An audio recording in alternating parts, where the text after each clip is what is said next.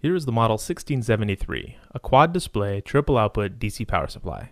It provides two variable outputs capable of 0 to 32 volts with current up to 6 amps, and a third output that provides a fixed 5 volts capable of current up to 3 amps.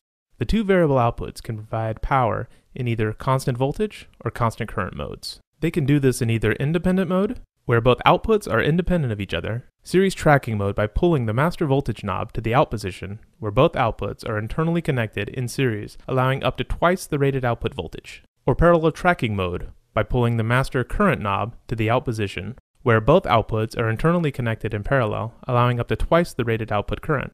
The front panel houses four separate three digit displays that allow the reading of both the output voltage and current from the two main outputs simultaneously. All three outputs are provided via sheathed safety banana connectors. The rear of the unit houses a large heatsink and cooling fan vent for dissipating heat, AC power input connector, and a fuse holder slash line voltage selector switch.